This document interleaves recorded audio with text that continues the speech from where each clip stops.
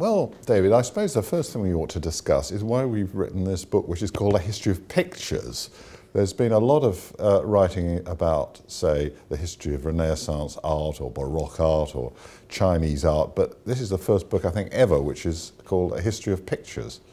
Well, yes, uh, because uh, this one includes photography, film, television, anything that is a picture, actually. And it's pointing out that they are quite related, actually. There's a lot to talk about pictures here, I think, um, and it's not really been done before, I think. So pictures are older than the written world, uh, word, and they may be as old as language, actually. We don't know how early the earliest pictures, we, we know the earliest we've, which survive are about 30,000 years old, but there may have been many before that. So uh, it's part of being human, yeah. this urge to make pictures. I think, I mean, the first caveman making a painting of an animal or something, and it had to be an animal, and he would have had somebody watching him, and they would have grunted or something. I've seen something like that. That's what they would have recognized. Therefore, it had to be like something, it had to be a depiction of something. And an animal was the first thing, that was the food, that was the threats, that was uh, everything. I'm sure it was like that. Somebody then said, Oh, yes, I have seen something like that. I think we, we see because of pictures. So we're claiming in a way that these are all part of one history. There's one complicated history which includes film, photography, painting, etching, computer drawings, all kinds of things which are normally separated. And if you, I think the example of that, the Walt Disney Pinocchio sequence you talk about, is a very good example of how they're related they'd used so many different things for depicting the water. Uh, this is the sequence when Pinocchio is in the whale and they set fire, they start a fire so that the whale in, in the stomach it starts to burn so he belches it out and they come out of the whale in the, with the little raft and the whale then follows them. And uh, I remember, oh, 20 years ago, doing this frame by frame on a tape. And you could do it then. And when you did it, you noticed how many different ways they'd used to make the water. I mean, sometimes it looked like Chinese water. The next minute it was just a brush. Then it was uh, when the water comes on the sand, the way it went into the sand. That's from a photograph of a water doing that. And uh, it was a marvelous example of how uh, all kinds of methods of depiction were used there. Yeah, it was. I pointed out Caravaggio invented Hollywood lighting because, I mean, he did actually. Uh, we don't see lighting like that. It must be caused by the sun because it's only the, the brightest light makes the deepest shadows. And you get very, very deep shadows in Caravaggio. That must have meant it was the sun shining on the other figures. I mean, the sun redirected maybe by a mirror or something. I mean, Hollywood lighting men used to go and study them, uh, and quite rightly, because the, it, what, it is organized lighting, it is.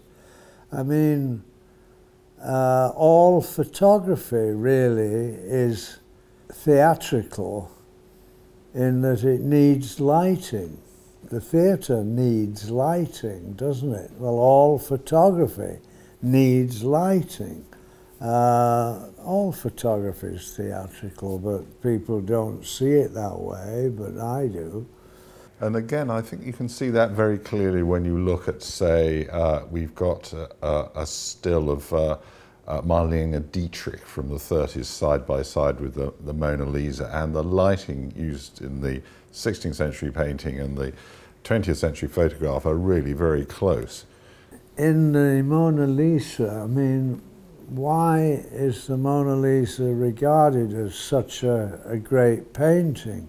Well, one reason is this incredible shadows on her face.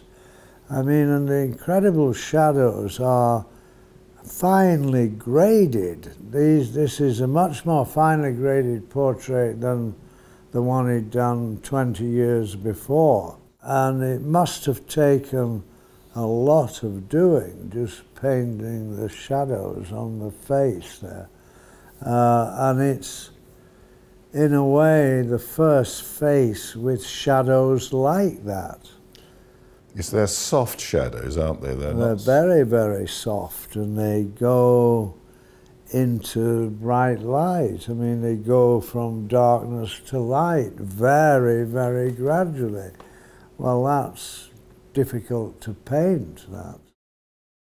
We've got a chapter about the stage and theatre and pictures, uh, which again is a subject which is not often discussed in the history of art, but actually when you delve into it, you discover Bernini and Raphael yes. and Leonardo, all these people were actually designing for the stage. Yes, they were. And, and they designed big uh, um, processions as well. I mean, uh, uh, I'm pointing out Van Eyck must have had a, a, very, a rather big studio and he'd have also have had a costume department and a hat department. I mean, the Ghent altarpiece has all these marvellous costumes. Well, they're all full of detail. They had to be real in some way. Because you couldn't really paint something like that from imagination. You'd no. have to have the thing in front of you. Yes, you do. Yes, you do, because the folds are right and things.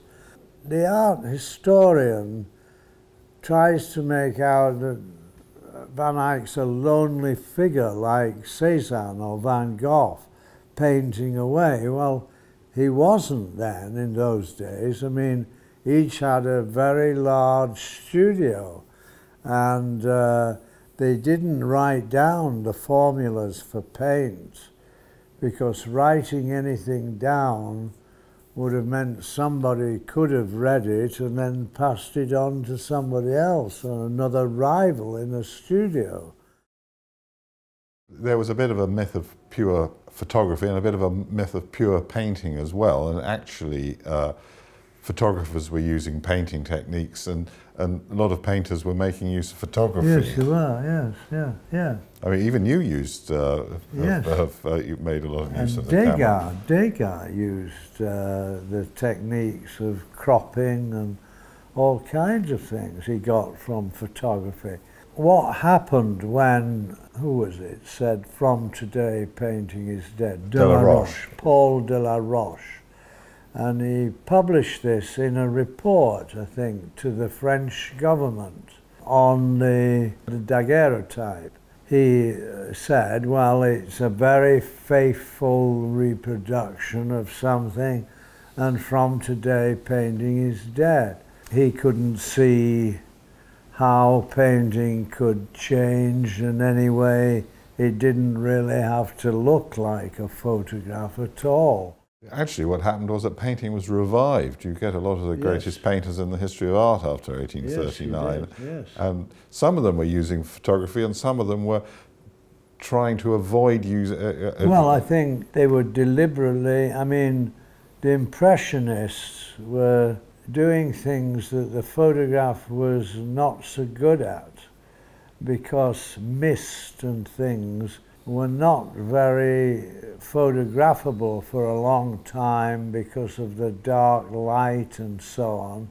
And the photographs needed strong light. Well, the Impressionists started painting mists and things. They knew what photography couldn't do and things. That's an interesting thing in itself, I think. But now, of course, the world is absolutely filling up with photographs because everyone's got a camera. I've got one on my uh, on my iPhone in my pocket, and yeah. uh, uh, everyone's constantly taking selfies, and uh, everyone can edit as well. Everyone can do this collaging and, and changing and yes. Uh, really redrawing their photographs. I think people have a deep desire to make pictures. I think it's a, a very deep thing in us.